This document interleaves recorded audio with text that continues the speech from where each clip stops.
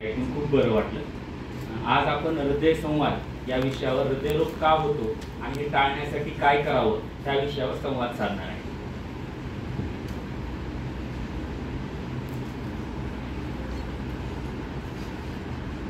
Light बंद करता येतील का सगळे वरच्या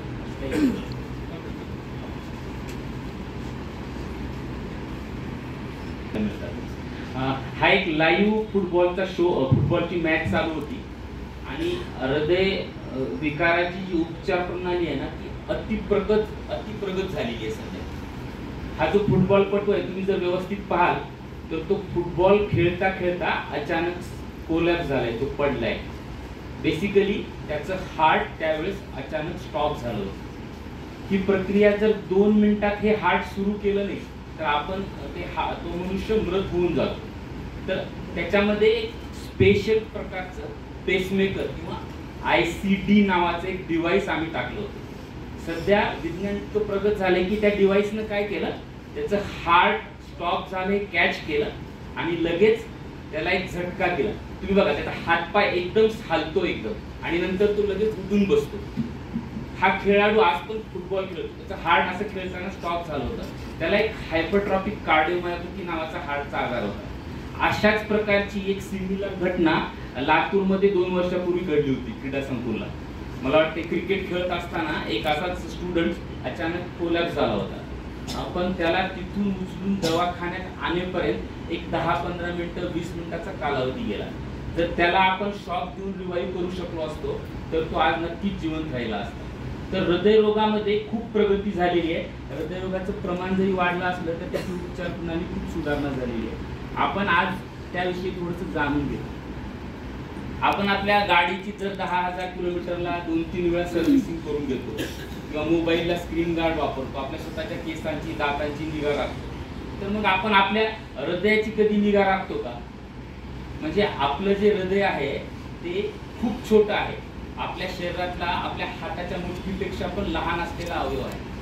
त्याचं वजन हार्डली पाचशे ग्राम म्हणजे अर्धा किलोपेक्षा कमी असतो.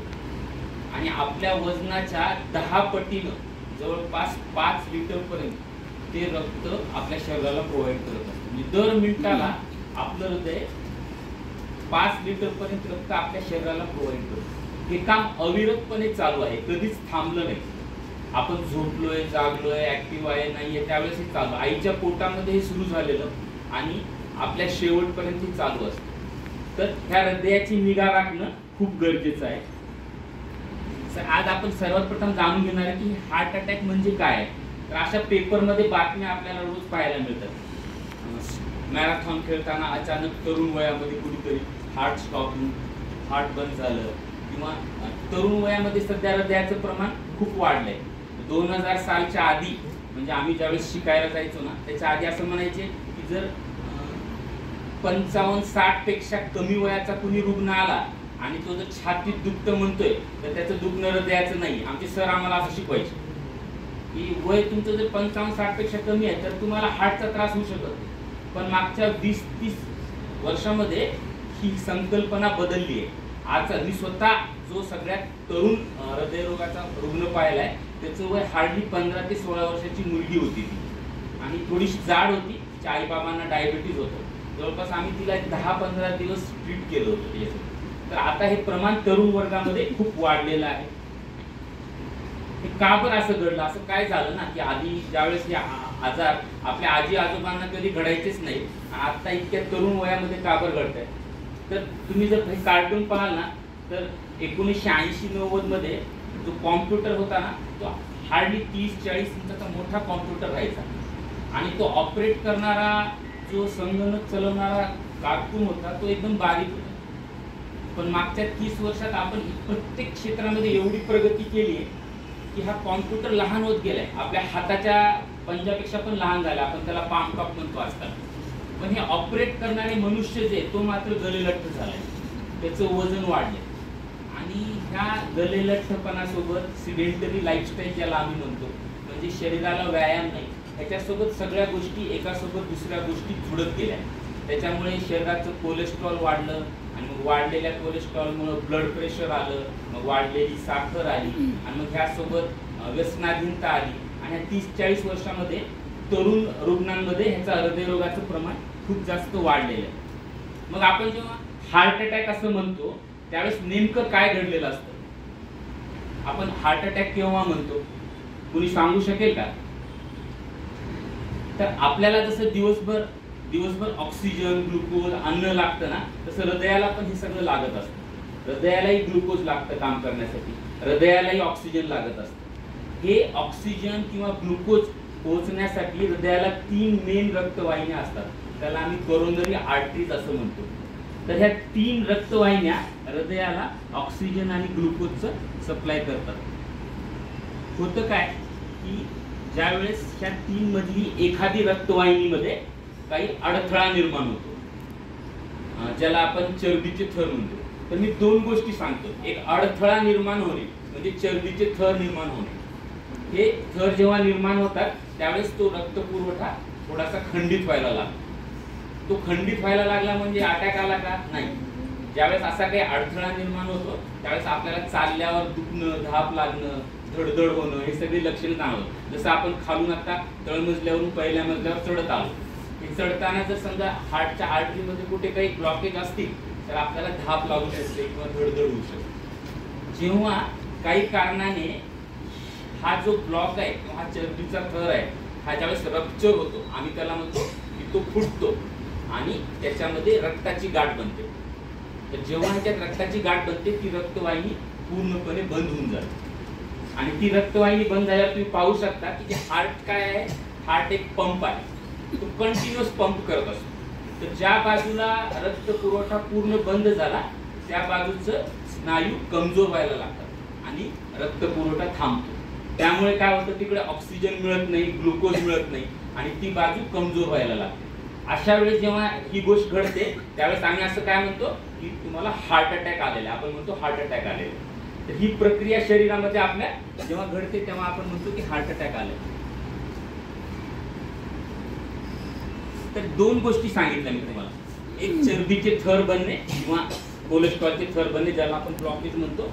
आणि दुसरं त्याच्यामध्ये रक्ताची गाठ बनणे ज्याला आपण ब्लड क्लॉट असं म्हणतो. ह्या दोन गोष्टी आहेत. पहिली गोष्ट जी आहे चरबीचे थर हे कधी बनायला सुरू होतात? आपल्या शरीरात चरबीचे थर कधी बनायला सुरू होतात? लेडीजमध्ये कोणी सांगू शकेल? अंदाज लावा. हे थर दहा ते वीस वर्षाला सुरू होतात बनायला आम्ही त्याला फॅटी स्टिक्स असं म्हणतो.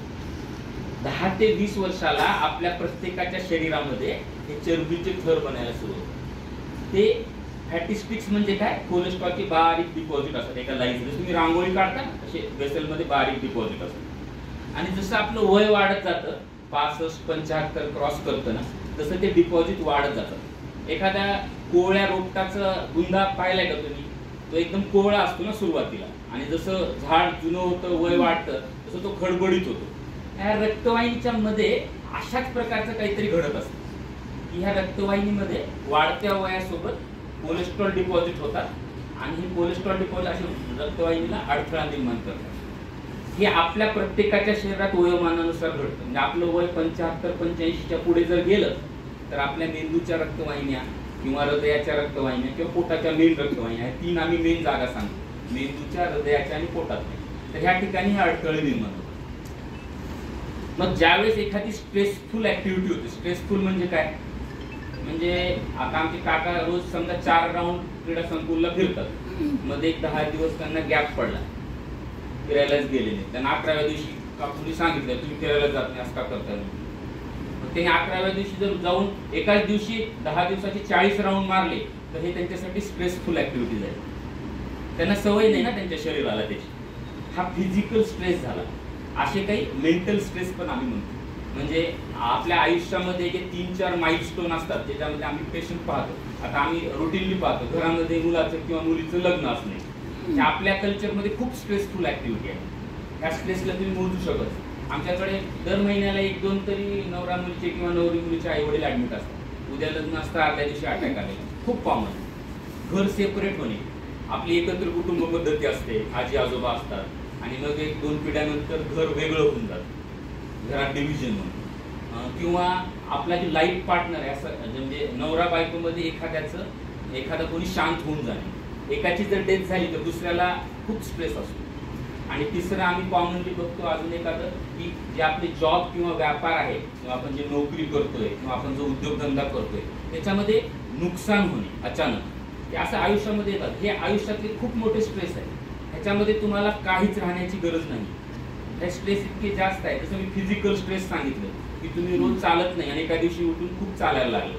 जसं आपल्याकडून इथं पंढरपूरला जाते माझी आई कपिलधारला चालत जात. रोज तेवढं चालत नाही. पण कपिलधारला चालत जात. मग अशा वेळेस काय होतं? नॉर्मल मनुष्याला काहीच होत नाही. पण ज्याच्यामध्ये ऑलरेडी आजार आहे त्याच्यामध्ये मात्र स्ट्रेस येऊन ते ब्लॉक जे आहेत ते रप्चर होतात आणि हार्ट अटॅक येतात. असे भरपूर पेशंट आम्ही पाहतो. काहीतरी नवस बोललेला असतो एकशे आठ प्रदक्षिणा घालायच्या असतात आणि मग रोजची सवय नसते. मग त्यावेळेस हा फिजिकल स्ट्रेस असतो. जसं मी तुम्हाला लाईफचे काही स्ट्रेस सांगले की हे स्ट्रेसमध्ये प्रेसिपिटेट होतो. तसं काही मेडिकल स्ट्रेस सुद्धा आहे. म्हणजे मला काही साखरच नाही बाबा. म्हणून घरात साखर असताना पण कधी चेक न करणं आणि खूप आता ह्या सीझनमध्ये खूप आंबे खाणं पाचशे सहाशे शुगर होणं. आपल्यामध्ये दोघा चौघांनी ते अनुभवलेलं पण असतं की बीपी दोनशे अडीचशेच्या वर जाणं किंवा कोलेस्ट्रॉल एकदम तीनशे तीनशे चारशे हे मेडिकल स्ट्रेस आहे. तर असा कुठलाही स्ट्रेस आला की हे प्लाक काय करतात? हे ब्लॉक जे तयार झाले ते ते रप्चर होतात. आणि ते रप्चर झाले की तिथे क्लॉट बनतो. आणि मग त्यावेळेस मात्र आपण पॅनिक होऊन जातो. आणि मला दुखायला लागलं घाम लागलं माझ्या हातापायामध्ये कमजोरी आली. म्हणजे असं काही घडतं की ते क्लॉट बनल्यानंतर आपल्याला सगळी लक्षणं एकदम जाणवायला लागतं आणि मग त्यावेळेस आपण अटॅक. तर ह्या दोन गोष्टी आपण जर कंट्रोल करू शकलो त्याच्यामध्ये ब्लॉकेज वयोमानानुसार तयार होणार आहे. जर समजा घरामध्ये आईबाबांना पन्नासी किंवा साठीमध्ये जर हार्ट अटॅक आलेला आहे ना तर नेक्स्ट जनरेशनला मुलांना खूप हाय रिस्क आहे ते की त्या वयामध्ये घडेल. तर फॅमिली हिस्ट्री खूप महत्वाची असते. आई बाबापैकी कुणाला जर चाळीशीत पन्नाशीत त्रास झाला असेल आमच्याकडे आमचे प्रायमरी टीचर आहेत मला शिकवतात ते चार भाऊ आणि एक बहीण आहे. तर त्यांना चाळीस ते पंचेचाळीसमध्ये सगळ्यांनाच अटॅक येऊन गेला. म्हणजे एकाची अँजिओप्लास्टी झाली एकाला रक्तवाहिन्या फुल्या झाल्या एकाची बायपास झाली. ते इतकं अनुवंशिक असतं.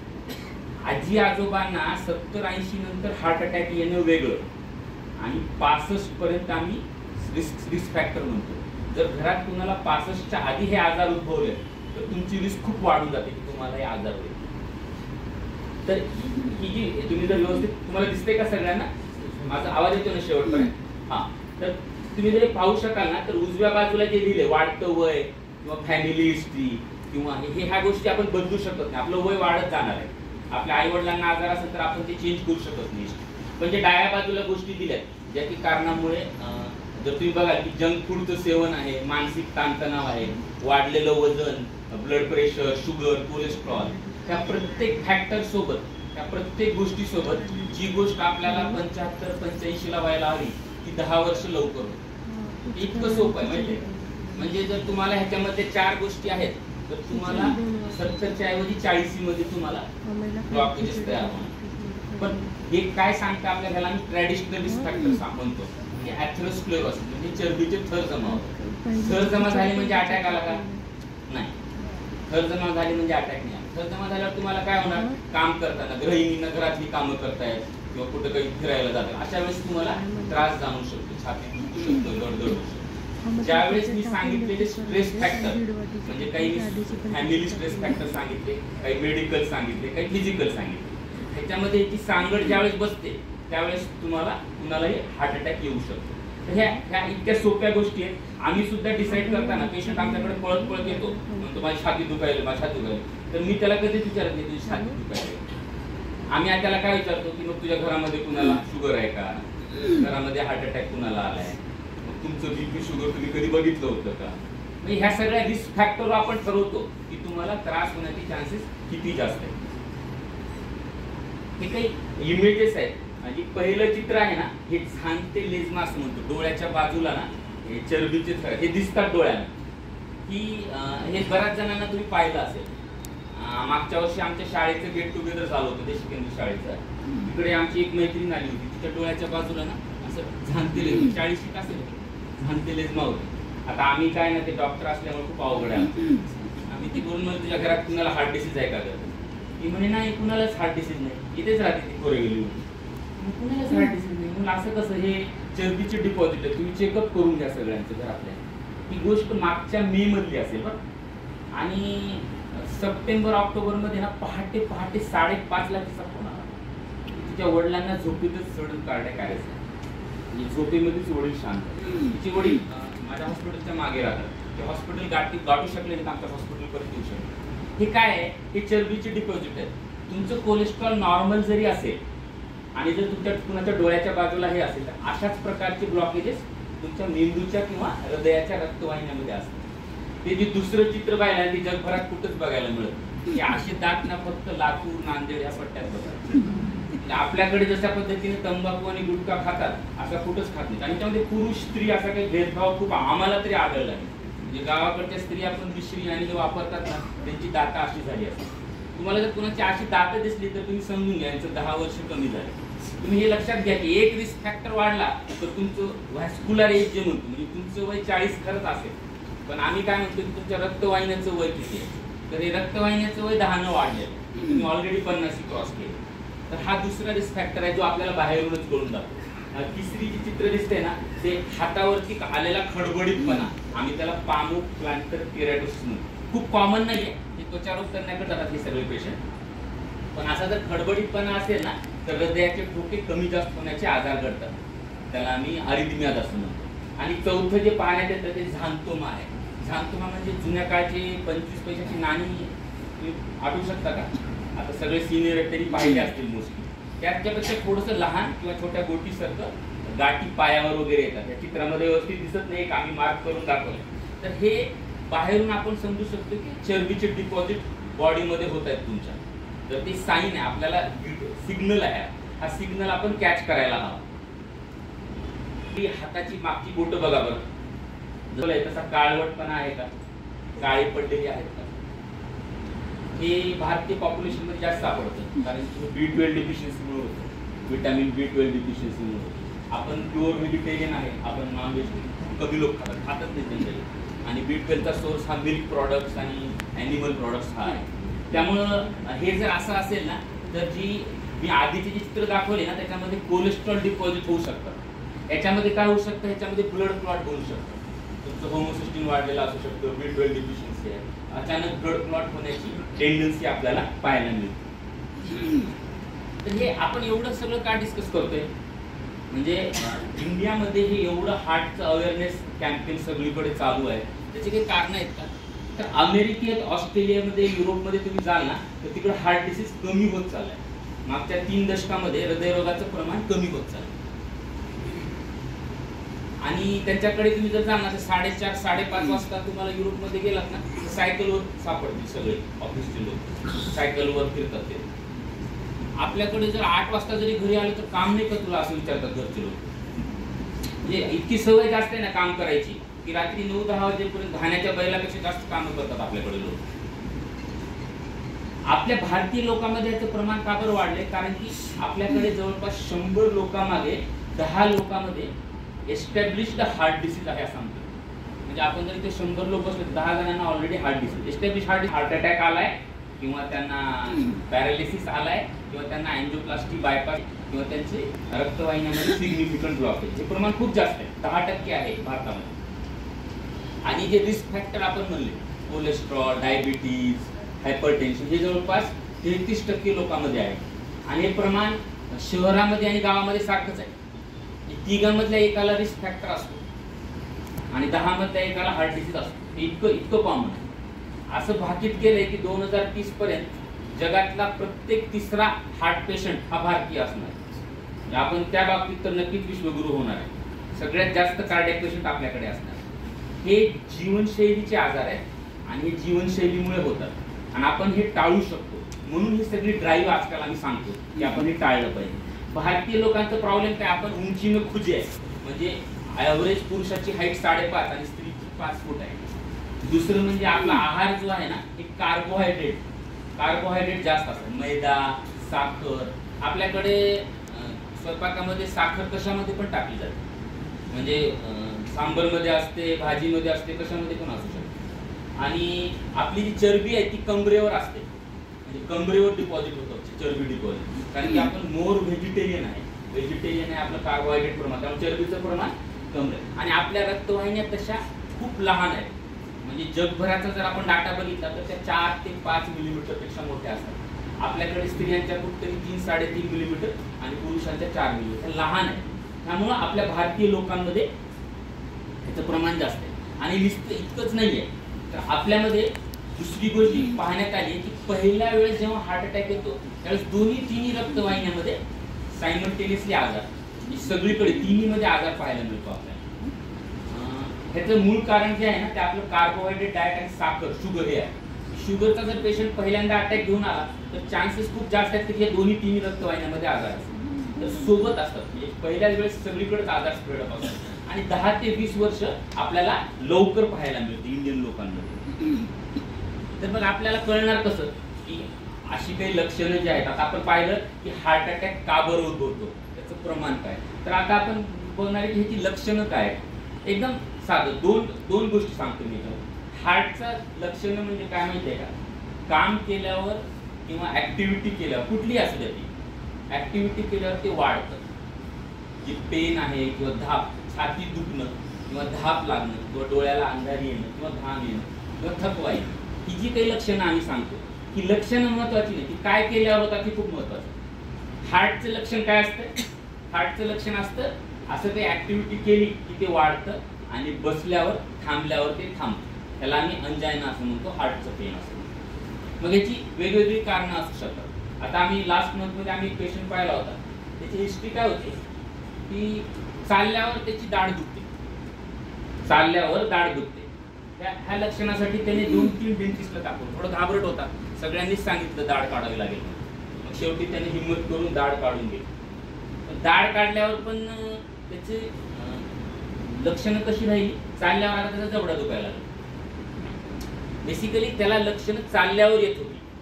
मग त्याला कोणीतरी सांगितलं तुम्ही स्ट्रेस टेस्ट करून घ्या म्हणून. स्ट्रेस टेस्ट केली त्याची. तर त्याची स्ट्रेस टेस्ट पॉझिटिव्ह होती ती डाव्या बाजूची एल ई डी बंद होती. आम्ही त्याला नंतर एल ई डीला एक स्टेट टाकून अँजिओप्लास्टिक केली. आता तो पाच सात किलोमीटर न थांबता चालतात ते. आणि त्याचा जबडा दुखत नाही. तर हार्टची लक्षणं एक्झर्शनवर असतात. ॲक्टिव्हिटी केल्यावर वाढतात थांबल्यावर थांबतात. कॅरेक्टरिस्टिकली आम्ही काय सांगतो? हे माझ्या आयुष्यातलं सगळ्यात वाईट पेन आहे. असं पेन मी कधीच जाणवलं नाही मला.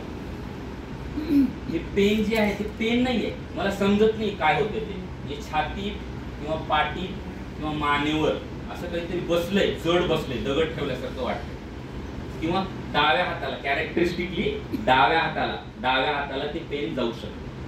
आणि हे पेन मानेला. पण आम्ही असं आम्हाला असं शिकवण्यात आहे की नाकापासून बेंबीपर्यंत कुठेही होऊ शकतो स्त्रियांमध्ये तर हे सिमटम्स खूप वेग असतात. म्हणजे त्यांना नुसतं मळमळ उलटी भीती वाटतीये घाम येतोय ही सगळी लक्षणं स्त्रियांमध्ये असू शकतात. मग असं काही झालं तर आपण काय करायला हवं? आपण जिथे कुठे आहे तिथे आपण स्वतः गाडी काढून डॉक्टरांकडे जाणं किंवा स्वतः चालत येणं. तरुण मुलं सडनली डेथ कावर होती माहितीये का? तरुण वर्गाची. आजी आजोबांचं काय असतं? त्यांचे गुडघे दुखत असतात. वजन जास्त असतं. त्यामुळे ते स्वतः पळत येत नाहीत कधीच. त्यांची मुलं येतात गाडी काढतात आमच्याकडे घेऊन येतात. तरुण ह्याचं काय असतं? ऑफिसला कामाला असतं खूप बिझी असतं. अकरा ते बारा लंच बारा ते एक लंच टाईम असतो. त्याच्यातच डॉक्टरांना जाऊन दाखवायचं असतो. पळत पळत येतात अशी जर लक्षणं आपल्याला कधी जाणवली हृदयाची की आपल्याला असं वाटतंय आपल्या जवळच्या कुणाला की अशी लक्षणं जाणवतात तर आपण ऍक्टिव्हिटी काहीच करायला नाही पाहिजे. कपडे वगैरे ढिले करावं तुम्हाला तरी सांगावं मला गाडी काढ किंवा रिक्षा धरून तुम्ही दवाखान्यात जाऊन. आम्ही काय करतो तुम्ही असं करून आल्यावर? तर आम्ही सर्वात प्रथम ना एक ईसीजी काढतो म्हणजे हृदयाचा आलेख इलेक्ट्रिक ऍक्टिव्हिटी बघतो. आजकाल ईसीजी सगळ्यांना समजतं इलेक्ट्रोकार्डिओग्राम तर एक दोन तीन गोष्टी इमर्जन्सीमध्ये आम्ही बघतो हे ठरवण्यासाठी हार्ट अटॅकची काही लक्षणं आहेत. त्याच्यामध्ये एक ट्रोपोनिन नावाची रक्ताची चाचणी असते. आता तुम्हाला तो हार्ट अटॅकचा व्हिडिओ पाहिलेला आठवते ती रक्तवाहिनीमध्ये ब्लॉक होता ती बंद झाली आणि स्नायू कमजोर.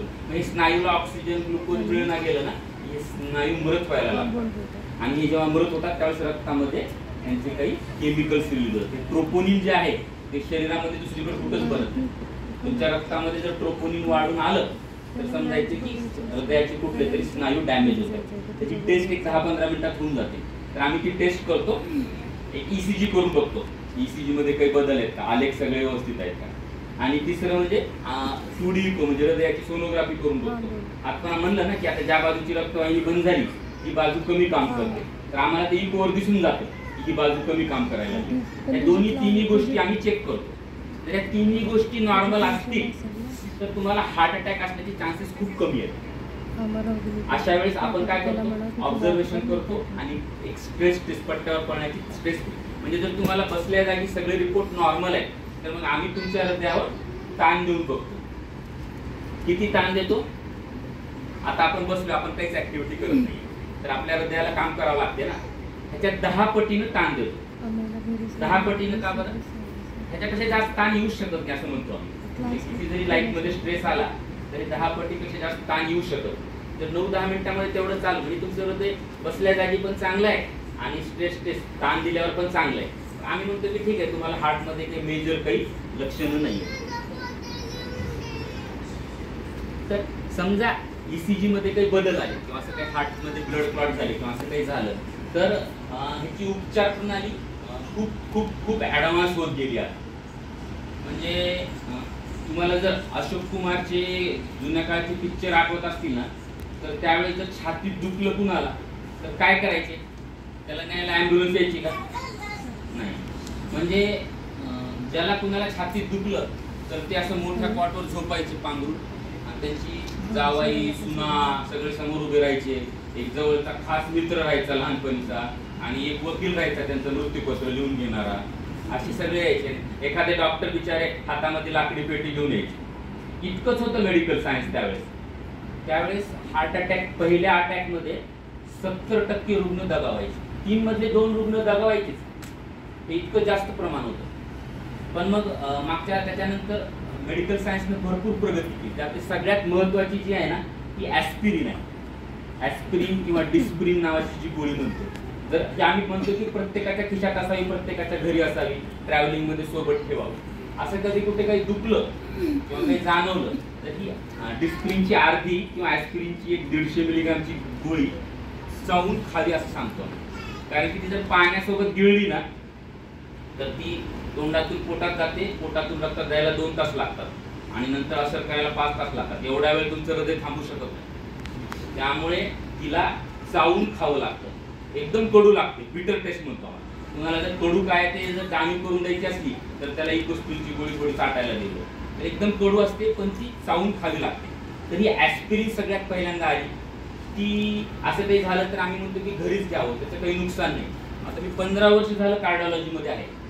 आज पर्यंत ॲस्पिरिन खाल्ली म्हणून किंवा रक्त पातळ होण्याचे इंजेक्शन भेटले म्हणून बिघडलेला पेशंट मी अजून पाहिला नाही. पण हे न मिळाल्यामुळं बिघडलेल्यापेक्षा पेशंट आठवड्याला दोन बघतो आम्ही. रक्त पातळीची इंजेक्शनच भेटली नाही किंवा ॲस्पिरिन किंवा क्लोपिडोग्री ह्या गोळ्याच भेटल्या नाही तर ह्याच्यानंतर थ्रोम्बोलिसिस जे म्हणतो आम्ही ही जी ब्लड क्लॉट बनते आपण आत्ताच डिस्कस केलं की चरबीचे थर बनतात आणि थर रक्चरून क्लॉट तयार होतात. तरी क्लॉट जे बनलाय ना तो स्ट्रेसमुळे बनलाय ना तर आपण तो क्लॉट डिझॉल्व करतो थ्रोम्बोलिसिस आम्ही पेशंटला झोपून काय करतो आयसीयूमध्ये तर त्याला रक्त पातळवण्याची औषधं देतो. हा क्लॉट डिझॉल्व आणि पेशंटला ऑक्सिजन वगैरे देतो. झोपवतो त्याच्या हृदयावरचा ताण कमी होतो. त्यामुळे मॅक्झिमम पेशंटचं दुखणं कमी होतं. त्यानंतर काही औषधं आली जी आजकाल सगळ्याच पेशंटला हार्टच्या पेशंटला चालू असतात. हृदयाची गती कंट्रोल करायची बीपीचे लघवीचे. त्याच्यामुळे काय झालं? डेथ रिस्क एकदम कमी झाली. जे जवळपास पहिल्या अटॅकमध्ये दोन तृतीयांश मॉर्टॅलिटी होती. म्हणजे तीनमधले दोन लोक शांत व्हायचे. आज हार्ट अटॅक जर झाला म्हणलं कोणाला आणि तो गेला म्हणलं तर सगळेजण आश्चर्य करतात. असं कसं? त्याला कुठे ऍडमिट केलं होतं का? मग त्याची अँजिओप्लास्टी नाही झाली का? बायपास नाही झालं का? त्याची झडप बदलली कारण की मॉर्टॅलिटी खूप ड्रास्टिकली ड्रॉप झाली.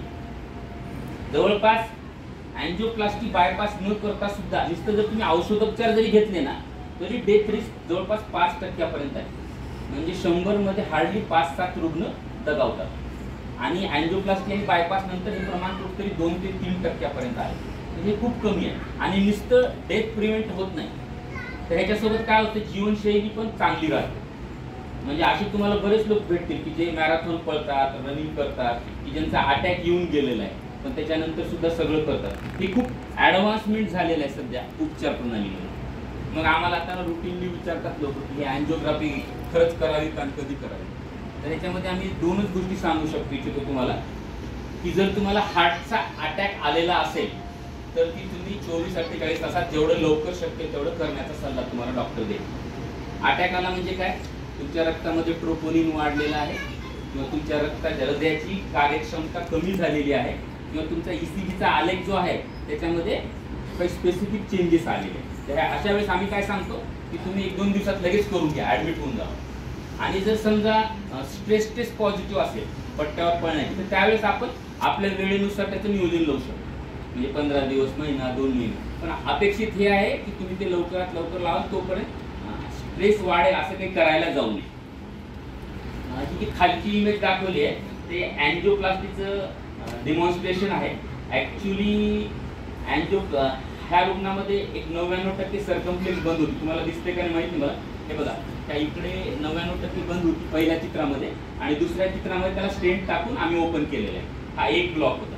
आणि बायपासमध्ये आम्ही काय करतो? बायपासमध्ये दोन्ही तिन्ही रक्तवाहिन्या जेव्हा खराब झालेल्या असतात त्यावेळेस आम्ही म्हणतो की आहे ती रक्तवाहिनी दुरुस्त करण्यात काही खूप राम नाही.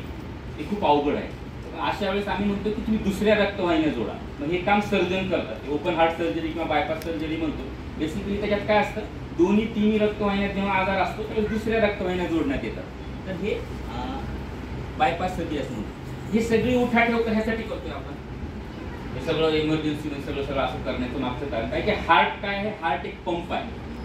आणि जे काही आजार आज आपण हार्ट अटॅकबद्दल बोलतो पण काही जन्मजात आजार असतात काही झडपेचे आजार असतात काही गतीचे आजार असतात. त्या सगळ्यामध्ये शेवटी काय होतं? हार्ट पंपिंग कमी होऊन जातं. आणि एकदा पंपिंग कमी झालं की त्याच्यामध्ये परत ताकद जनरली येत नाही. तर मेंदू आणि हृदय हे अवयव असे बनलेले आहेत की ह्याच्या स्नायू मेंदूच्या नसा आणि हृदयाचे स्नायू जर एकदा डॅमेज झाले तर त्याला परत त्याच्यात जिवंत करू पुरी शकत नाही. असे रुग्ण काय होतात? मग ते नेहमीच दवाखान्याला लागून जातात. मग धाप लागला त्यांची धापच कमी होते. किंवा असं बरेच लोक होईल. तसे जुन्या काळी दम्याचे पेशंट राहायचे ना. खूप वर्ष बिडी सिगरेट होईल. त्यांचा दम काही जायचाच नाही.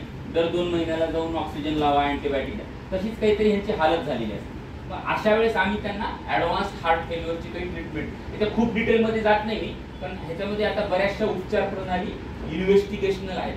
म्हणजे हार्टला मदत करणारे काही डिव्हाइसेस आहेत काही स्पेशल पेसमेकर आहेत जे आम्ही करतो. मला खा सांगायला आनंद की आमच्याकडे एक मुलगी आहे बारा तेरा वर्षाची. तिचं हार्ट ट्रान्सप्लांट झाले दिल्लीला. तिचं हार्ट वीक होतं. तिचं जन्मजात आजार होता तिला हार्ट अटॅकचा आजार नव्हता. आणि एक वर्ष दोन वर्ष त्यावेळेस महाराष्ट्रामध्ये ही सगळी यंत्रणा पण नव्हती. हार्ट ट्रान्सप्लांट इकडे होत नव्हतं. तर तिचं हार्ट ट्रान्सप्लांट केले आता जर तुम्ही तिला भेटाल ना तर तुम्ही ओळखू सुद्धा शकत नाही की तिचं हार्ट ट्रान्सप्लांट झालं तिला फक्त स्कार आहे. पण तिचं हार्ट प्रॅक्टिकली नॉर्मल आहे. इथपर्यंत उपचार प्रणाली प्रगत झाली. आणि तुम्ही तो पहिला व्हिडिओ पाहिला त्याच्यामध्ये ते ऍडव्हान्स पेस मेकर टाकले आहे. हार्ट स्टॉप झालं ना की ती मशीन तिला तिथे त्याला शॉक देऊन परत स्टार्ट करते. म्हणजे आपलं कॉम्प्युटर किंवा काही हँग झालं तर आपण काय करतो? रिस्टार्ट करतो. तर बेसिकली सडन हार्ट स्टॉप झालं की ऍडव्हान्स पेस मेकर काय करतात? हार्टला शॉक देतात आणि शॉक देऊन त्याला रिस्टार्ट करतात. आणि बऱ्याच वेळा हे लाईफ सेव्हिंग असतं. तर हार्ट अटॅक जर असं हार्ट अटॅकची उपचार प्रणाली खूप प्रगत झाली. पण ह्याच्यावर उपचार घेतल्यावर आम्ही पुढच्या गोष्टी सगळ्यात महत्त्वाच्या जे सगळेजण विसरतात. कारण की खर्च झालेला असतो सगळं झालेलं असतं ऑपरेशन झालेलं असतं थकलेले असतात सगळे. ऑलरेडी एवढं सगळं झालं. हे पन्नास टक्केच काम आहे. परत ब्लॉकेज होणे किंवा परत अटॅक होऊन आपण काहीच केलं त्यामुळे जीवनशैली जी आपण बघणार आहे की आपण काय जीवनशैली फॉलो करायला पाहिजे. तर ती जीवनशैली खूप महत्वाचं असतं. आहार व्यवस्थित राहणं महत्वाचं असतं. आणि औषधं वेळच्या वेळेवर औषधं घेणं खूप महत्वाचं असतं. औषधं तुम्ही कधीच बंद करू शकत नाही. कारण की तुमचा जो त्रास आहे तो तात्पुरता कमी झाला पण तो परत होणे म्हणून तुम्हाला औषधं लागतात. समहाव ही कमी होतात. खूप रेअर सिच्युएशनमध्ये बंद होतात. म्हणजे बीपीची कोलेस्ट्रॉलची काही जणांची बंद होतात किंवा शुगरची बंद होतात. पण रक्त पातळ होण्याची जर तुम्हाला कोणी चालू केली असेल तर जनरली ही बंद होत नाही. तर डोस कमी होतो तर मग असं सडन काही घडलं तर कार्डिओ पल्मोनरी रिसोसिटेशन असं आम्ही आजकाल सांगतो की कार्डिओ पल्मोनरी रिसोसिटेशन सीपीआर म्हणजे जर कुणी अचानक कोलॅप्स झालं तर आपल्या प्रत्येकाला हे आलं पाहिजे. सीपीआर प्रत्येकाला देता आलं पाहिजे. एक छोटासा व्हिडिओ आहे माझ्याकडे सीपीआरचा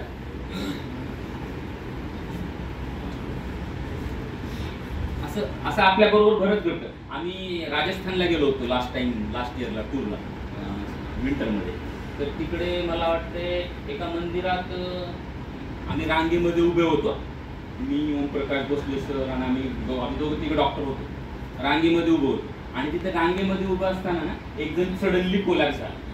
कोलॅप्स झाला म्हणजे काय झालं? काहीच रिस्पॉन्स करणं नाही आणि त्याच्या कोलॅप्स होण्यापेक्षा त्याच्या नातेवाईकांचा आवाज खूप जोरात आला सगळ्यांनी रडायला चालू केलं. म्हणजे त्याची बहीण दुसरे सगळे जेवढे होते ना सगळ्यांनी रडायला चालू केलं. इतका गोंधळ झाला ना तिकडे. तर आम्ही दोघं तिघं तिथे होतो. बॅरिकेड क्रॉस करून आम्ही गेलो आणि आम्ही त्याला सीपीआर दिला. सीपीआर दिला म्हणजे काय? हार्ट काय आहे? हार्ट पंप आहे. हार्ट बंद झालं म्हणजे पंपिंग बंद झालं. सीपीआर म्हणजे काय करतो आपण? हे छातीचं जे समोरचा बरगड्या आहे आणि पाठीचा मनका आहे त्याच्यामध्ये छातीला दाबतो. आणि दाबल्यावर काय होतं? आपण आर्टिफिशियली हार्टला पंप करतो. आणि पंप केल्यामुळे काय होतं? हार्ट बऱ्याच वेळा स्टार्ट होऊन जातं. आणि असं जर स्टार्ट झालं तर त्या रुग्णाचा जीव वाचतो. आणि हे जर आपण ॲम्ब्युलन्स येईपर्यंत किंवा डॉक्टर येईपर्यंत जर करू शकलो एक दोन मिनिट पाच मिनिट पंधरा मिनिट तर त्या पेशंटचा रुग्णाचा जीव वाचू शकतो. त्याच्यामध्ये दुसरं सगळ्यात महत्त्वाचं काय माहिती आहे का? की त्यावेळेस तुमचा मेंदू पण शाबूत होता असे बरेच पेशंट पाहायला मिळतील की त्यांचं हार्ट स्टॉप झालं डॉक्टरांनी रिस्टार्ट केलं पण तो पेशंट कोमामध्येच आहे. पेशंट उठलाच नाही. व्हेंटिलेटरवर गेल्यानंतर बाहेर आला तर कोमा त्यावेळेस झालेलं काय असतं? की बेसिकली त्या कालावधीमध्ये त्याच्या मेंदूचा रक्तपुरवठा थांबलेला असतो. हार्ट आम्ही नंतर रिस्टार्ट केलं पण तो जो कालावधी त्याच्यात मेंदूचा रक्तपुरवठा थांब त्यामुळे त्याचा मेंदू मृत झालेला असतो. त्याला ब्रेन डेड म्हणतो आम्ही. मग आपण सीपीआर का दिलं पाहिजे? तर सीपीआर ह्याच्यासाठी दिलं पाहिजे की त्याचा मेंदू पण शाबूत राहील. आणि खूप खूप सोपी प्रोसिजर आहे. खूप अवघड प्रोसिजर नाही आहे त्याला लेमेन म्हणजे कुणीही करावा असा आहे. बाय स्टँडर्डनी करावा असा आहे. सगळ्यात पहिल्यांदा आम्ही काय सांगतो? की सगळ्यात पहिल्यांदा आपण हे कन्फर्म करावं. जर समजा आपल्या परिचयामधलं कुणी किंवा कुठल्या इव्हेंटमध्ये कुणी जर अचानक पडलं तर आपल्याला सगळ्यात आधी काय कन्फर्म करायचं पहिली स्टेप ही आहे की आपण सेफ आहे का हे बघणं गरजेचं आहे. कधी रोड ट्रॅफिक ऍक्सिडेंट असू शकतो किंवा कुठं ड्राउनिंग असतो असं काही पण असू शकतं ना.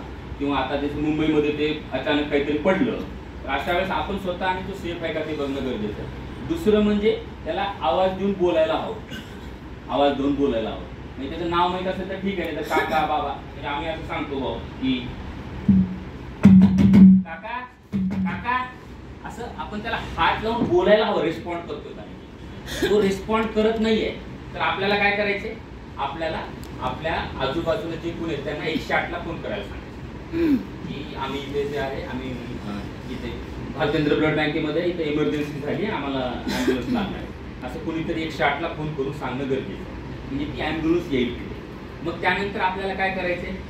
त्यानंतर आपल्याला हे बघायचं की श्वास थांबलाय का नाही. जर तो रिस्पॉन्ड करत नाही तर आपल्याला त्याला सीपीआरची गरज आहे हे कन्फर्म झालं.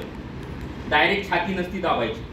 आम्ही असं बऱ्याच वेळा बघतो की त्याला कोणतं झोपलं असतं तुमचं छाती दाबत तर ते उठून बसतं. छाती दाबण्याच्या आधी तुम्हाला हे कन्फर्म करायचे की त्या माणसाचा श्वास थांबलाय का हार्ट थांबलाय तर आधी त्याला रिस्पॉन्ड करते का बघायचं? रिस्पॉन्ड करत नसेल तर मदत बोलवायची. मदत बोलवल्यानंतर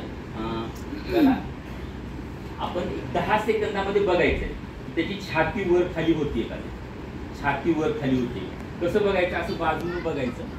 आपण कान इकडे लावायचा डोळ्याने समोर बघायचं. छाती वर खाली होते का? आता आम्ही जे ज्या लोकांना नाडी बघण्याची सवय असते त्यांना आम्ही नाडी बघायला सांगतो. हाताची नाही बघत इथली मानेची बघतात. कारण हाताची लागत नाही अशा वेळेस.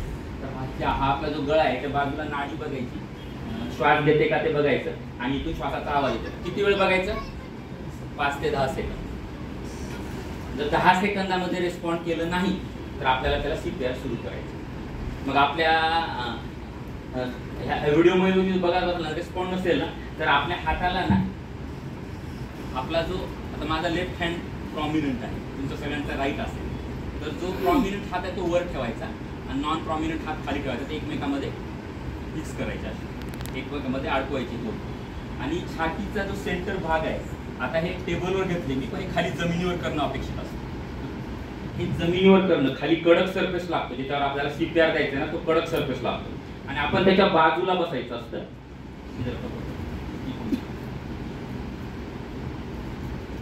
म्हणजे आपला आपल्याला असं आपल्याला असं बाजूला बसायचे त्याच्या आपल्या हाताचा एक पंजा आता माझा नॉन डॉमिनंट आहे. म्हणजे तुमच्या सगळ्यांचा डाव आणि माझा मी उजवा ठेवतो आणि त्याच्यावरती हे कुठं ठेवायचा हात? दोन्ही निपलच्या मध्ये.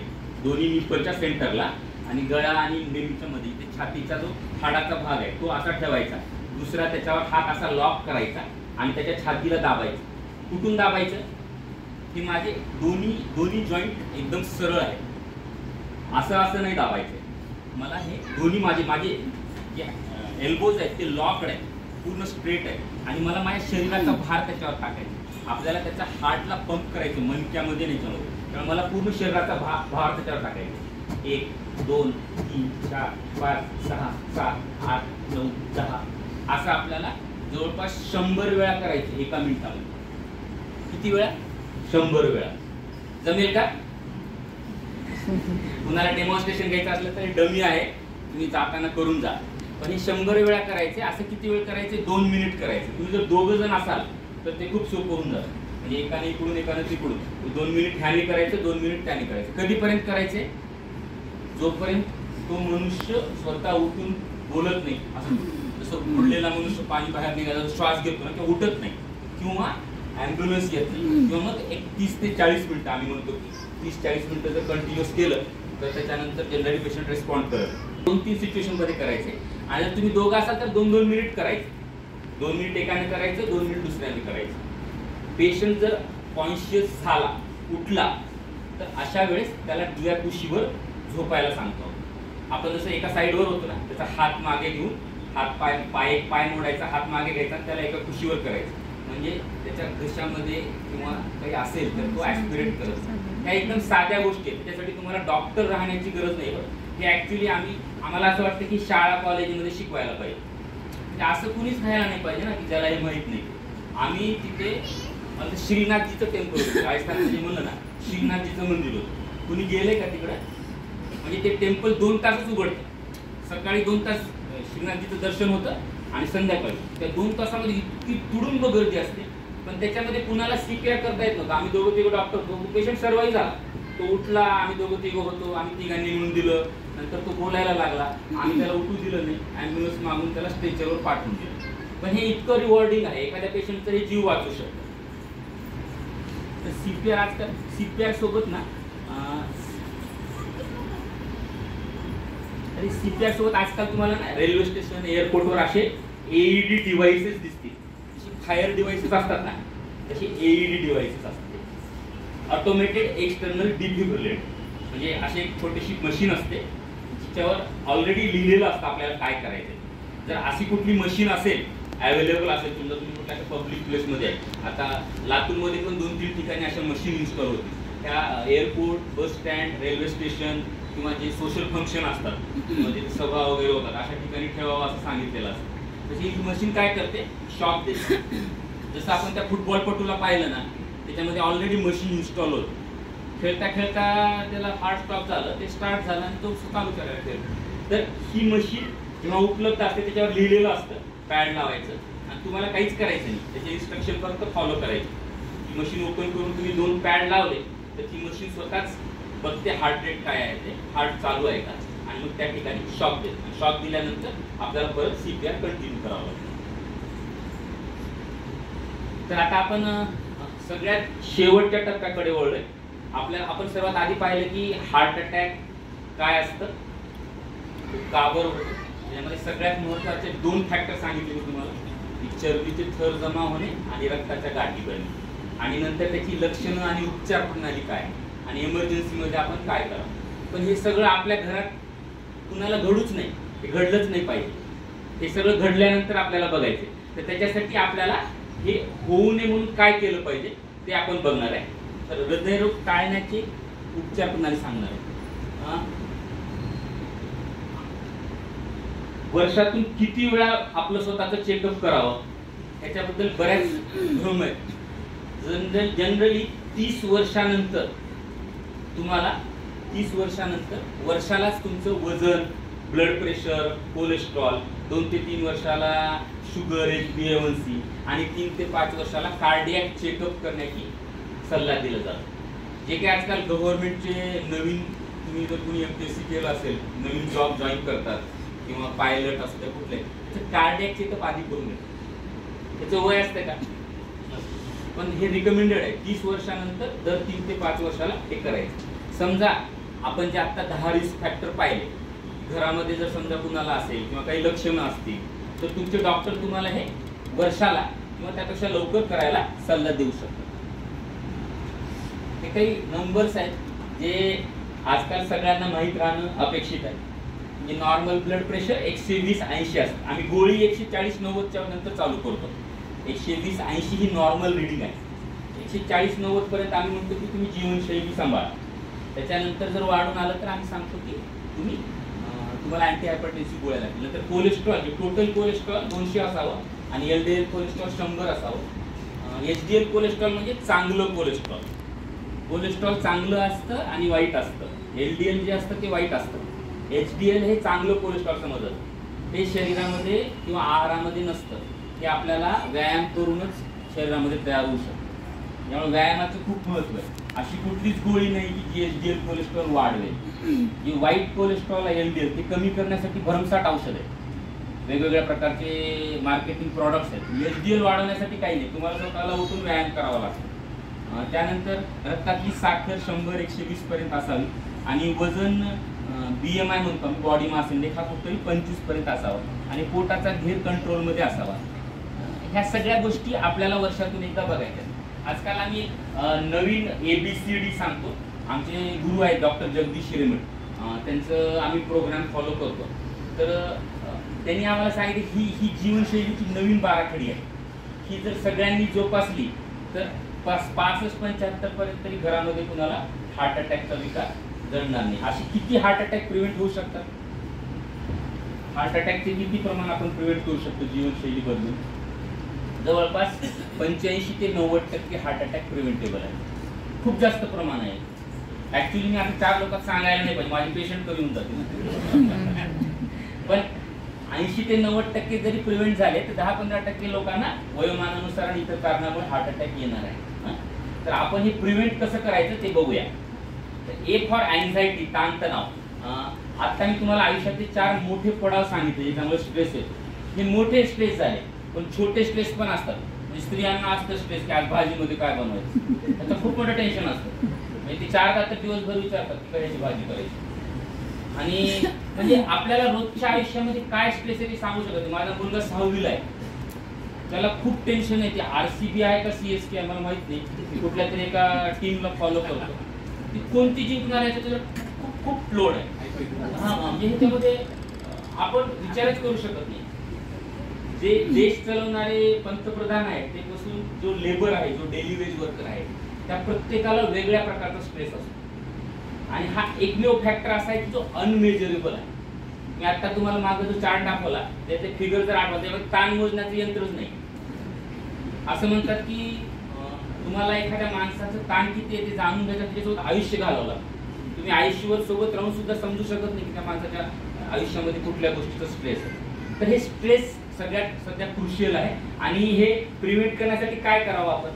तर रोजच्या ह्याच्यामध्ये व्यायाम करावा काही छंद जोपासावे. म्हणजे एक टी व्ही स्क्रीन आणि मोबाईल सोडलं ना तर बाकी सगळ्या प्रकारचे छंद आम्ही चांगलेच समजतो. फक्त व्यसन नसावे त्याच्यामध्ये.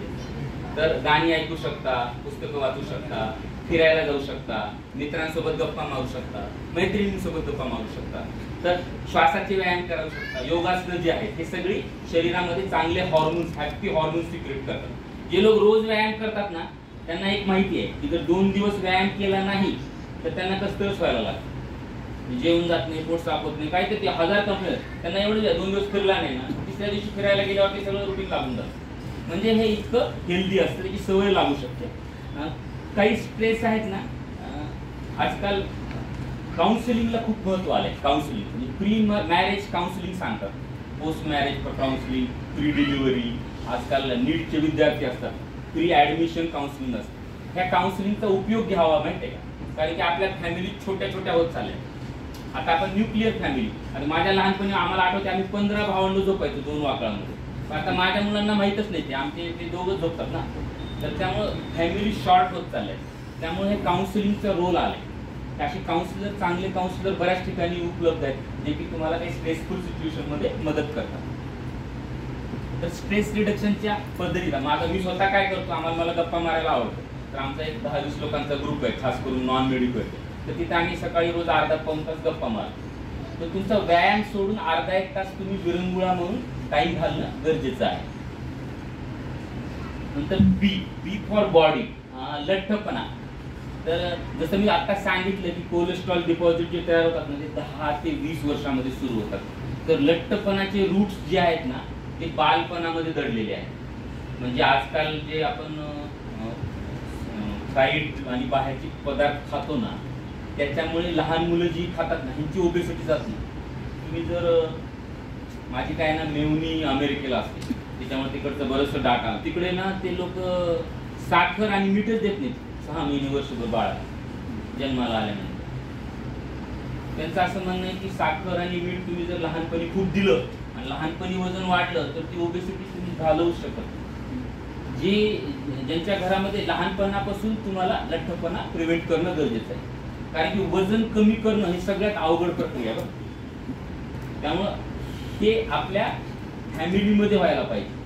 हे दोघं जे आहेत त्यातला एक खेळाडू आहे तो भारताचा तिरंगा घेऊन प्राऊड फील करतोय. आणि जो दुसरा आहे ना तो काय प्राऊड फील करतोय तेच कळत नाही मला. त्याचं पोट कुठेपर्यंत चाललंय त्याच्याकडे त्याचं बिलकुलच लक्ष नाहीये. पण ही भारताची वस्तुस्थिती आहे. आपल्याकडे ओबेसिटी खूप जास्त प्रमाणामध्ये आहे. काय करावं? एक्झरसाइज ही तुमचं वेट मेंटेन ठेवते. आम- आमच्याकडे असं सांगतात की तुम्ही व्यायाम केल्याने तुमचं वजन संतुलित राहतं आणि तुमचा स्टॅमिना वाढतो. आणि वजन कमी करायला तुम्हाला डाएट खूप अग्रेसिव्हली करावं लागतं. किती वजन कमी करावं?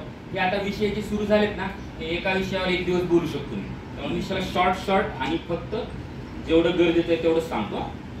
तर तुम्ही बघा तुम्हाला त्याचं काय आत्मसात होते वजन किती कमी करावं? तर महिन्याला अर्धा किलो वर्षभरामध्ये पाच सहा kilo.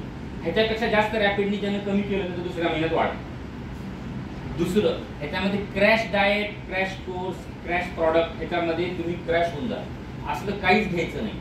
Liquid diet protein diet हे सगळं हानिकारक असतं. रोजच्या जीव जीवनामध्ये छोटे छोटे बदल म्हणजे संध्याकाळचं जेवण झोपण्याच्या दोन ते तीन तास आधी करणे. मित्रांनी किंवा घरच्यांनी बळजुबरीनं जो शेवटचा मिठाईचा घास दिलेला असतो किंवा गोड असतो किंवा जो शेवटचा भात असतो तो अवॉइड करणे. दुपारच्या जेवणानंतर थोडं झोपणं टाळणे. अशा छोट्या छोट्या गोष्टी केल्या की ते वजन कंट्रोलमध्ये राहते.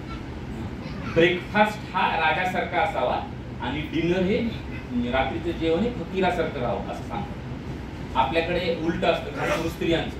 सगळं काम झाल्याशिवाय एक घास खात नाही. दुपारी बारा एक दोन वाजेपर्यंत सगळे कामं झालेली असतात. त्यानंतर बसून जेवतात. ही चुकीची पद्धत आहे. रात्रभर तुमच्या शरीराला काहीच मिळालेलं नसतं. त्यामुळे सकाळी उठल्यावर तुम्ही लहानपणी आठवा ना. आता मुलं आता माझी स्वरा छोटी आहे ना. की किती सात आठ वर्षाची आहे. तिला उठलं की आधी दूध लागतं रात्रभर काहीच खाल्लेलं नसतं ना. तर मग भूक लागते सकाळी सकाळी. सकाळी तुम्हाला खाणं गरजेचं आहे. ब्रेकफास्ट हा हेवी असावा. आणि लंच हा ॲव्हरेज असावा. आणि डिनर जो आहे तो दोन ते तीन तास आधी आणि तो सगळ्यात कमी असावा कारण त्यानंतर आपण काहीच ऍक्टिव्हिटी करत नाही. आपण काहीच काम करत नाही. सिगरेट किंवा tobacco products C for cigarette हे आता एक दोन महिन्यापूर्वी लातूरच्या पोलीस डिपार्टमेंटनं खूप छान उपक्रम केला होता ट्युशन एरियामध्ये आपल्याकडे जवळपास एक लाख विद्यार्थी असतात. आणि प्रत्येक हॉस्टेलमध्ये प्रत्येक मुलांच्या ग्रुपमध्ये हे सगळे प्रॉडक्ट्स आपण आपल्यामध्ये ज्यांनी कुणी तंबाखूचं सेवन करतात किंवा सिगरेटचं सेवन करतात त्यांनी आठवा तुम्हाला याची सवय कधी लागली? ही सगळी सवय ना टीनेज किंवा कॉलेजमध्ये लागलेली असते ज्यांनी स्वतःला ह्याच्यापासून टीनेजमध्ये किंवा कॉलेज जीवनामध्ये परावृत केलं त्याला पुन्हा आयुष्यभर किती जरी काही झालं ना तर तो ह्याचं सेवन करत नाही. तर हे टाळणं गरजेचं आपल्या मुलांना उद्या चालून आपल्या पुढच्या पिढीला आपण काय देणार आहे? तर हे संस्कार आपल्याला त्यांना द्यायचे की हे आजार उद्भवले नाही पाहिजे. आपल्या घरात ऑलरेडी एक पिढीला दोन पिढीला जर आजार झाले तर हे नवीन संस्कार आपल्याला त्यांना द्यायचे.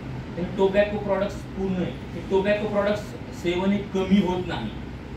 जो असं सांगतो कमी मी त्याला असं हो ठीक आहे मान आलो तुम्ही तर. कमी होत नसते बंद होत असते. कमी म्हणून सांगणारे सगळेजण चुकीचं काम करतात. आम्ही म्हणतो की सडनली तुम्ही बंद करा काहीच होत नाही. आता टोबॅको प्रॉडक्टचं सेवन हे बंद करायला हवं. डाएट डाएट कसं असावं? आमच्या मॅडम खूप तज्ञ आहेत. मला रोज सांगत राहतात तुझं वजन कमी करण्यासाठी काय काय करायचं? पण डाएटमध्ये होल ग्रेन्स प्रिफरेबल घ्यायला पाहिजे. पूर्ण ग्रेन्स जे असतात ते. तुम्हाला हात दाखवले ना मी. ते हाताचं जे फॉलिक ऍसिड आणि ते सगळं असतं ना ते सगळं वरच्या कवरिंग वरती असतं. पालकच्या मेथीच्या. आपण जी तांदूळ फार व्हाईट तांदूळ करतो ना त्याचं वरचं निघून गेलेलं असतं. त्यासोबत सगळे विटामिन पण गेलेले असतात. आता ऍक्च्युली फॉरेनमध्ये वगैरे फॅड आले की ते म्हणजे असं जितकं नॅचरल आहे ऑर्गॅनिक ऑर्गॅनिक म्हणजे रुपयाची गोष्ट ऑर्गॅनिक म्हणलं की दोन रुपयाला जाते. तर आजकाल ते खूप मार्केटिंगमध्ये पण आले. तर ते जितकं शक्य आहे तेवढं ऑर्गॅनिक टाईपचं फूड असणं अपेक्षित आहे. आणि दूध वगैरे तीस पस्तीस नंतर आपल्या शरीरामध्ये काही वाढ होत नाही. त्यामुळे स्किम्ड मिल्क असणं अपेक्षित आहे. त्याची चरबी वगैरे काढलेलं असणं अपेक्षित आहे. तेलांबद्दल महिला वर्गांचं खूप असतं की आम्ही कोणती तेल वापरावी. तर सगळ्यात हेल्दी तेल आहे ना असं कुठलंच नसतं. सगळ्यामध्ये काही गुणदोष असतात. त्यामुळं तेल हे बदलत राहावं असं अपेक्षित आहे. दर महिन्याला तेल बदलावं. जर आपल्याला बदलायचं नाहीये तर आपण मग सगळ्यात शेवटी जे दिले चार भाग राईस ब्रँड म्हणजे राईस ब्रँडचं ऑइल मिळते. खूप कॉस्टली नाही येते आणि एक भाग करडी तेल. हे इंडियन पॉप्युलेशनसाठी चांगलं. का बरं? तर आपल्याकडे खूप हाय टेम्परेचरला बॉईल करतात तेलावर खूप हाय टेम्परेचरला बॉईल करतात. तर करडी सोयाबीन हे सगळे चांगले तेल समजले जातात. खोबरेचं तेल पाम ऑइल वनस्पती तूप हे पूर्ण वाईट. हे आहारामध्ये टाळावे. आणि मनुष्याला प्रत्येक मनुष्याला अर्धा ते एक किलो एक किलो पाऊन किलोच्या आसपास हे चार जणांचं कुटुंब आहे. तीन किलो तेल सफिशियंट व्हायला पाहिजे तुम्हाला महिन्याला. ते ऑइल तुमचं त्या प्रमाणामध्ये राहणं अपेक्षित आता असे काही पदार्थ येतात डोळ्यासमोर एवढं सगळं लेक्चर ऐकलं बऱ्याच ठिकाणी लेक्चर नंतर मागच्या वेळेस आम्ही कळमला लेक्चर देतो तर खूप छान लेक्चर झालं. आणि त्याच्यानंतर त्यांनी दोन तळलेले खमंग वडे सगळ्यांसाठी बाहेर वडे तळायला लावले होते तोपर्यंत. असे खावेत की नाही खावेत? हा? मला आवडतात ऍक्च्युली काय पण हे हे ह्या गोष्टी हार्टच्या पेशंटला खायचं नाही तुम्हाला शुगर आहे किंवा अनकंट्रोल बीपी आहे कोलेस्ट्रॉल वाढलंय तर ह्या गोष्टी अवॉइड करायच्या आपल्याला. परंतु थमरूल असा आहे की दहा जेवणामध्ये एक जेवण तुम्हाला आलं म्हणजे जर महिन्यामध्ये तुम्ही तीस दिवस ब्रेकफास्ट करताय तर तीन ब्रेकफास्टमध्ये एवढी फ्लेक्झिबिलिटी तुम्हाला आहे जर तुम्हाला काही आजार नसेल. किंवा तुम्ही तीस लंच करताय तर तीन वेळा म्हणजे महिन्यातून तीन वेळा फक्त बाहेर जेऊ शकतो. बाकी सत्तावीस वेळा घरी जेवायचं आपल्याला. आणि ते पण एकदम सात्विक जेवायचे. मग ते तुम्हाला तीन वेळा माफ. म्हणजे दहामध्ये एक जेवण आपल्याला मुभा आहे. असं जे तुम्हाला आवडतं ते तुम्ही थोडं खाऊ शकता. पण तुम्हाला जर काही आजार नसेल तर आजार असेल तर तुम्हाला हे सगळे अवॉइड करायचे. नंतर सगळ्यात महत्त्वाचा पार्ट आहे एक्झरसाईज मी आता बोलता बोलता जसं एक्झाम्पल दिलं ना की एक्झरसाइज रोजचं पन्नास ते सत्तर मिनिट एरोबिक एक्झरसाईज म्हणजे फास्ट चालणे. चालायला का बरं सांगतो आम्ही? चालणं सगळ्यात चांगला व्यायाम आहे. का सगळ्यात चांगला व्यायाम कुठला आहे? कोणी सांगू शकेल का? सगळ्यात चांगला व्यायामाचा प्रकार कुठला?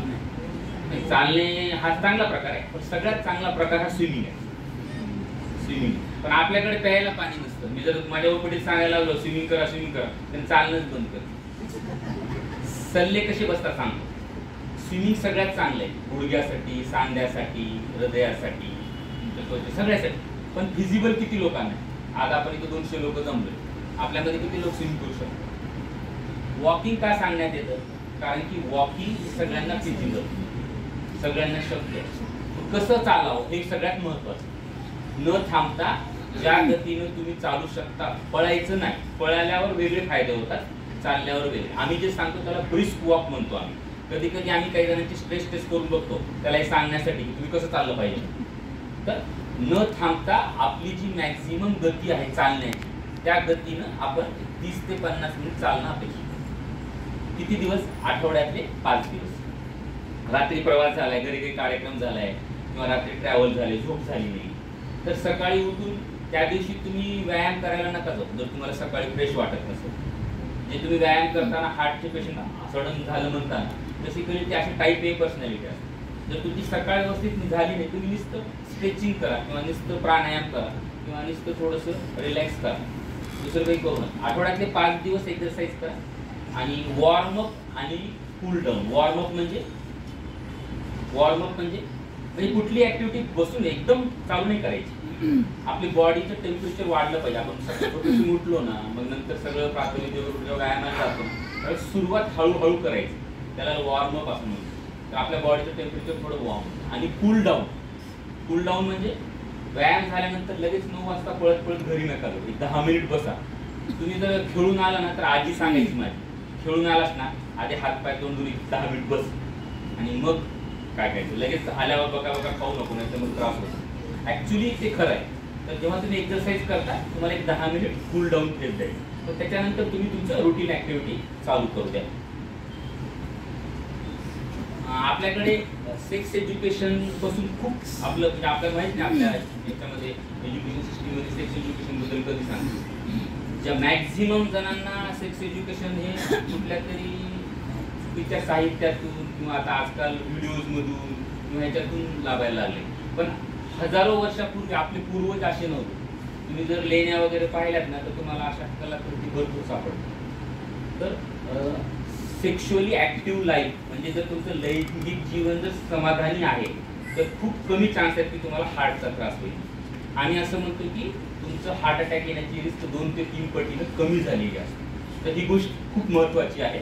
त्याच्यासोबत जसं कुठलीही एक्सरसाइज आहे तसं सोबत शरीरामध्ये काही हॅपी हॉर्मोन्स सिक्रिट होतात ज्यामुळे आपल्याला आपली रिस्क कमी होऊन आता आपण एफ पर्यंत आलोय. मला वाटतं अजून दोन तीन आहेत. एफ फॉर फ्रेंड्स हे आमच्या मॉर्निंग वॉकर ग्रुपचे खास मेंबर आहेत. ते चौधरी काका आहे ते सेवन्टी थ्री प्लस आहे आमच्यासाठी ते आयडल आहे कारण की अजून त्यांना कुठली व्याधी जडलेली नाही आहे आणि ह्या दोघांची खास बात काय माहिती आहे का? हे असे हसतात रोज अर्धा तास. रोज हसतात म्हणजे आम्ही ज्यावेळेस सकाळी चहाला तिथे नसतो एकतर म्हणजे मी नसलो तर एकतर मी बाहेर गावी आहे किंवा तो- कोणता तरी पेशंट सिरियस आहे. जवळपास असंच असतं. अशा प्रकारे निखळ मैत्री खूप गरजेची असते. काही स्ट्रेस जे आपण आता विचार करत होतो की स्ट्रेस आहे स्ट्रेस रिलीव्ह करायच्या वेगवेगळ्या पद्धती आहेत. पण दरवेळेस त्याच्याने स्ट्रेस रिलीव्ह होईल का नाही सांगता येत नाही. तर अशी मैत्री खूप गरजेची आहे. मैत्रीला वेगळं स्थान आहे. आपल्या हिंदू धर्मामध्ये गुरुला खूप महत्त्व दिलेलं आहे. म्हणजे अर्जुनाकडे सगळ्या विद्या होत्या पण समोर एवढं मोठं जेव्हा लढाई सगळ्यात महत्वाची वेळ आली त्यावेळेस तो कन्फ्यूज झाला. विद्यार्थी तसंच करतो. एक्झामच्या दिवशी एकदम कन्फ्यूज असतो. वर्षभर एकदम चांगला असतो. तर आपल्या आयुष्यामध्ये काही गोष्टी अनाकलनीय असतात. आपल्याला समजत नाही. म्हणजे अभ्यास सगळेजण करतात आणि दोघांचे नंबर येतात. बाकी नव्वद जणांनी काय गोड बिघडलेलं असतं? मग हा जो स्ट्रेस आहे अनअवॉइडेबल आहे. अशा वेळेस गुरुचा रोल खूप महत्त्वाचा आहे. आपल्याला गुरु हे समजावून सांगतात आपला स्ट्रेस रिलीव्ह करतात. आणि तो कुठल्याही स्वरूपात असतो. म्हणजे आजच्या काळात तर बायकोला सगळ्यात मोठा गुरु असं म्हणतात. पण तो मित्र असू शकतो तुमचा लहान भाऊ असू शकतो तुमचा कामामधला एखादा सवंगडी असू शकतो ज्युनियर असू शकतो. त्याच्यासोबत तुम्ही जो तुम्हाला बऱ्याचशा गोष्टी शिकव आणि सगळ्यात शेवटी आजकाल आम्ही सांगतो की हेल्थ इन्शुरन्सबद्दल. कारण की मेडिकल कॉस्ट हे ऍट पार गेलेलं आहे. Cost of medical facility at par गेले एक्झॅक्ट जर सांगायचं म्हणलं तर आमच्याकडे एक उदगीरला डॉक्टर होते. त्यांचं जवळपास पंधरा लाखाचं इन्शुरन्स आणि पंधरा लाखाचं खूप चांगलं इन्शुरन्स आहे त्यांना कळालं की कॅन्सर डिटेक्ट झाला. सरळ टाकायला गेले प्रायव्हेटमध्ये गेले. चारच दिवसात संपलं. चारच दिवसामध्ये त्यांचं सगळं क्लेम नंतर आम्ही पैसे जमा करून पाठवले. मेडिक्लेम हेल्थ इन्शुरन्स ही खूप मोठी काळाची गरज गरज आहे. आपले पंच्याऐंशी टक्के हार्ट डिसीज प्रिव्हेंट होतील. पण दहा पंधरा टक्के ज्यांना येतील त्याचा खर्च कोण करणार? आणि हे सगळं महात्मा फुले जन आरोग्य योजनेवर अवलंबून आपण राहू शकत नाही. तर किती हेल्थ इन्शुरन्स असावा? जर तुम्ही लातूरमध्ये ट्रीटमेंट घेताय तर लातूरमधल्या ॲव्हरेज वन बेडरूम हॉल किचनचं जेवढं कॉस्ट आहे ना तेवढं तुमचं इन्शुरन्स असतो. जर तुम्हाला मुंबईला ट्रीटमेंट घ्यायची आहे किंवा हैदराबादला घ्यायची आहे अपोलोला घ्यायची आहे तर तिकडे वन बी एच केचं कॉस्टिंग काय आहे? तर तेवढं तुमचं मेडिक्लेम असलं पाहिजे. कारण की तुमचं मेडिकल एक्सपेन्सेस खूप जास्त जातं आता आम्ही जे हार्ट ट्रान्सप्लांटचं सांगितलं हार्ट ट्रान्सप्लांट खूप एन जी ओज आहेत. म्हणजे पेशंटला खूप कमी बिअर करावं लागतं. कॉस्ट पण आजच्या घडीला ते कॉस्ट फक्त वीस ते तेवीस लाखाचे असतात. आणि जे डिव्हाइसेस सांगितले आमचे काही मित्र मित्रांनी ते डिव्हाइस इम्प्लांट करून दिले. म्हणजे तू असं वाटतं ना की आपले आई आहे आपले वडील आपल्याला त्याच्यासाठी सगळं करायचं. आपल्याला माहीत नसते सगळ्याची किंमत किती आहे. तर ह्याच्यासाठी हेल्थ इन्शुरन्स खूप महत्त्वाचा आहे. खूप स्ट्रेस कमी होतो बरं मी रोज हार्टचे पेशंट बघतो. पहिला आपल्याला पहिलं पहिली रिॲक्शन असते अरे आपल्याला कसं हार्ट अटॅक आला? आणि दुसरी रिॲक्शन काय असते? आता खर्च कसं करून आणायचं? चांगल्या चांगल्या घरात सुद्धा एवढी कॅश घेऊन कोण झोपतं ना? तुम्हाला खर्च लगेच लगेच नक्की पैसे लागत असतात. तर हेल्थ इन्शुरन्स जर असलं ना तर हा दुसरा स्ट्रेस कमी होऊन जातो. ह्याचं कॉस्ट असं जर आपण काढलं ना तर हार्डली दोन पाच हजार दहा हजार पडतो पर पर्सन परंतु त्याचं मग क्लेम आपल्याला खूप त्याचं बेनिफिट देईल जातं. तर ही एक ही जीवन म्हणजे ना हे एक असं चलचित्र आहे. आपण जन्माला येतो काहीतरी करत राहतो काही उपद्व्याप आपण करतो काही आपल्याला अनुवंशिकतेनं भेटलेलं असतात. आणि त्यामुळं हे हृदयाचे आजार जडतात तुम्ही आजार जडल्यावर आमच्याकडे आलात ना तर आम्ही तुमचं अँजिओग्राफी करून अँजिओप्लास्टिक प्लास्टिक सगळं करून टाकतो म्हणजे त्याची गरज असते म्हणून करतो पण हे सगळं प्रिव्हेंट करता येऊ शकतं. प्रिव्हेंट म्हणजे आता जे आपण फॅक्टर बघितले ते जर आपण फॅक्टर फॉलो केले तर हे आपल्याला आजार उद्भवणार नाही आणि आपल्याला ह्या सगळ्या प्रोसिजरची गरज पडणार नाही. तर ही नवीन बाराखडी आहे. जाताना मला वाटतं की सगळ्यांनी ह्या दोन गोष्टी लक्षात ठेवावं. एक म्हणजे सीपीआर कसं द्यायचं आणि ही जी नवीन बाराखडी ए फॉर अँझायटी म्हणजे ताणतणाव बी फॉर लठ बॉडी लठ्ठपणा सी फॉर सिगरेट तंबाखूचं सेवन डी फॉर डाएट तुमचं डाएट व्यवस्थित पाहिजे. रोजचं एक पन्नास मिनिटं एक्सरसाइज करायला हवं. आयुष्यामध्ये दोन चार चांगले मित्र असावेत. आता माझ्या पप्पाचे काका खूप चांगले मित्र आहेत. मला माहिती आहे त्यांना स्ट्रेस आला की ते काय करतात. ते कधी कधी मला सांगू शकत नाही पण त्यांना बोलतात. गुरुचं खूप महत्वाचं स्थान आहे आपल्या आयुष्यामध्ये. आणि हे सगळं झाल्यावर सुद्धा जर समजा आजार जडलाच तर आपल्याला हेल्थ इन्शुरन्स आणि मेडिक्लेम असणं गरजेचं आहे. एवढं बोलून मी थांबतो. मला वाटते सगळे जागे कुणी झोपलेले नाहीये.